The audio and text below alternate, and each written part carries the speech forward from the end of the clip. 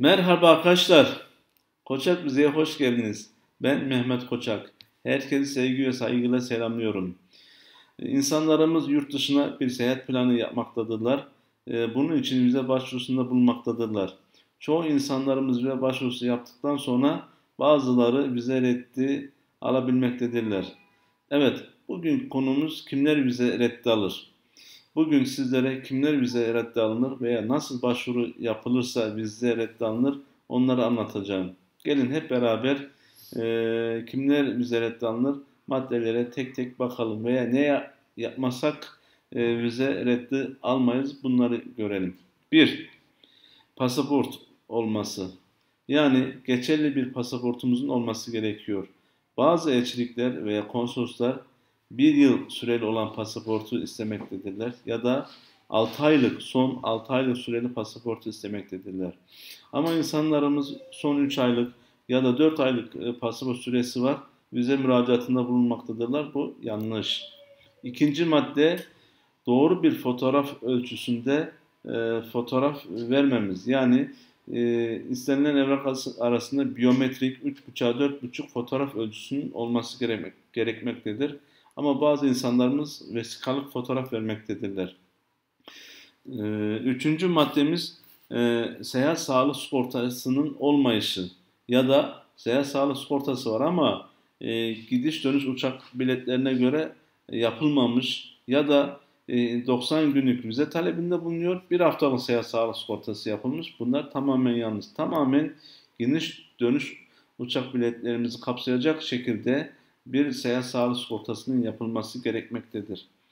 Ee, beşinci madde e, bankada yeterli miktarda meblağımızın olmayışı. Evet, e, istenilen belgeler arasında e, ıslak imzalı kaşeli mühürlü banka hesap hareketini istemektedirler. Banka hesap hareketinde de insanlarımızın yaptığı yanlışlardan bir tanesi de son bir hafta ve son kala yüksek miktarda para yatırıyorlar. Halbuki bunu elçilik görüyor, bakıyor, inceliyor. Elçinin buradaki amacı hesap hareketi aktif mi?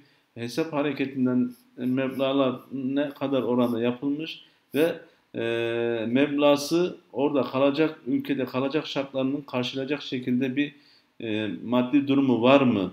Buna bakmaktadırlar. Eğer yeterli bir miktarda meblağ yoksa veya hareketli bir hesap hareketimiz yoksa reddi alabiliriz. Altıncısı e, geçerli bir SGK'mızın ya da eski hitabıyla SSK'mızın, bağ kurumumuzun olmayışı. Yani bir yerde çalışıyoruz ama son 3 aylık 4 aylık e, zaman diliminde bir SSK'mızın veya bağ kurumumuzun olmayışı. Bu bize reddine sebep olmaktadırlar. E, yedincisi şirket evraklarımızın sunulmaması, bir iş yerinde çalışıyoruz veya işvereniz e, vize müracaatında bulunduk, şirket evraklarını ibraz etmedik, ibraz etmediğimiz için de vize reddi alabiliriz.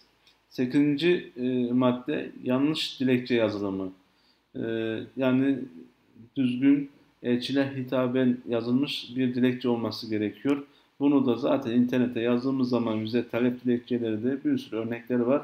Oradan alarak e, yazabiliriz. Dilekçe yazarken e, şunlara dikkat etmemiz lazım. Hangi elçiyle yazıyorsak o elçiyle hitaben amacımızı orada güzelce yazmalı. Tarih güncel olmalı ve en altta adresimizin, telefonumuzun olması gerekmektedir.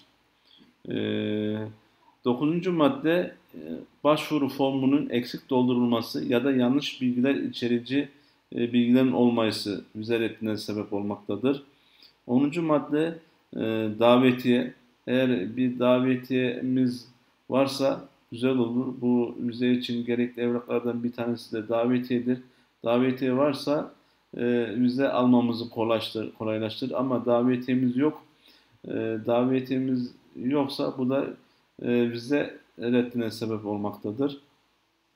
E, ya da davetiyede bir süre dilimi var. O süre diliminin geçmemesi lazım. O süre dilimi içerisinde vize talebinde bulunmak gerekmektedir. E, 11. madde daha önce vize almış ama vize ihlali yapmış kişiler vize reddi alabilir. 90 günlük bir vize aldık. Biz gittik orada 92 gün, 100 gün kaldık. Bu vize süresini ihlal etmiş olduğumuzu göstermektedir. Ve bu sebepten dolayı vize reddi alabiliriz.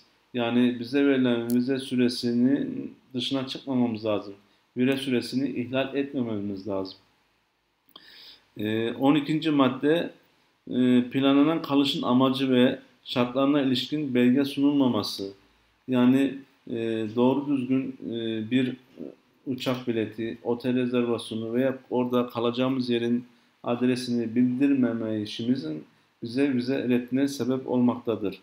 Evet, yine diğer bir madde ise gerçek bir otel ya da uçak bileti rezervasyonunun olmayışı. Gerçek bir otel ve uçak bileti rezervasyonu yapmadıysak, sahte bir şekilde e, otel ve uçak bileti rezervasyonu yaptıysak bu da vize reddine sebep olmaktadır. Evet arkadaşlar, e, vize reddini kimler alır? E, vize reddine sebep olan durumlar nelerdir? Bugün sizlere bunu anlatabildiğim kadar anlatmaya çalıştım. Bir kusurum varsa affola. Koçak vize olarak biz güvenli, kaliteli, doğru bir şekilde insanların vizesini almalarını istiyoruz. O yüzden e, sizlere vize garantisi veren ya da kişiler varsa lütfen onlara itibar etmeyin, onlara inanmayın. E, ve e, yukarıda saydığım maddeler sizde varsa boşuna vize müracaatına bulunmayın ve paranız da yanmasın. Biliyorsunuz elçile ödediğiniz vize ücretini geri alamıyorsunuz. Geri iade edilmiyor. Evet arkadaşlar, e, emeğe saygı adına beğenmenizi rica ediyorum. Bizleri aşağıdaki yazdığımız sosyal medya hesaplarımızdan takip edebilirsiniz. E, web sitemizde her ülkenin vize durumuyla ilgili daha detaylı bilgiler var. O yazımızı inceleyebilir, okuyabilirsiniz. Ya da ofisimiz, ofisimize gelerek çay ya da kahve içerek isteklerinizi bize söyleyebilirsiniz ya da bizden bilgi alabilirsiniz. Beni dinlediğiniz için teşekkür ederim. Herkesi sevgi ve saygıyla selamlıyorum. İyi günler diliyorum.